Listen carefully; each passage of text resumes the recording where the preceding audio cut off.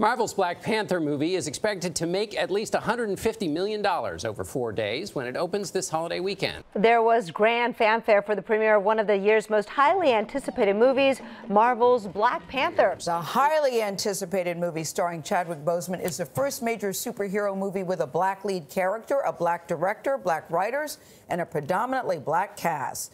This is really like a historical moment for you know, to have our superheroes that look like us right here in Oakland. Black Panther, the latest heart-pounding movie by Marvel.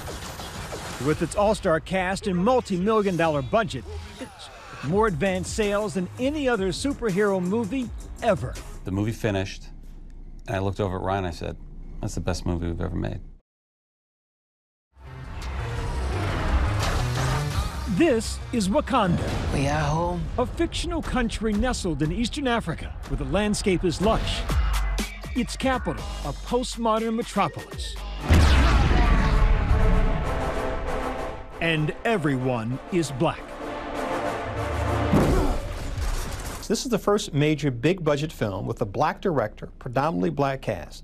It's 2018. This is still considered revolutionary.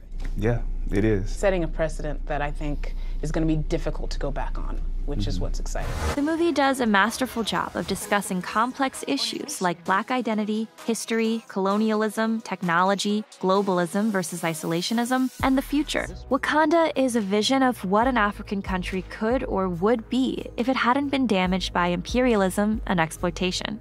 Black Panther's multinational cast comes from countries including the US, the UK, Kenya, Guyana, and Tobago. And the superpower most on display in the superhero story is blackness itself. T'Challa and Erik symbolize the historical debate between black leaders over whether to achieve progress through peace or aggression. Philosophically, T'Challa aligns with Martin Luther King Jr.'s philosophy of nonviolence, and Erik aligns more with Malcolm X's by any means necessary outlook, which largely inspired the Black Panthers. In the comic books, you have these female characters that are incredibly important to the country of Wakanda. T'Challa's worldview is the happy medium between Erik's point of view and his father's original isolationist, nonviolent point of view, which means he's basically ending up with Nakia's point of view and doing what she's been telling him to do all along. It might have been a much shorter movie if he'd just listened to his girlfriend.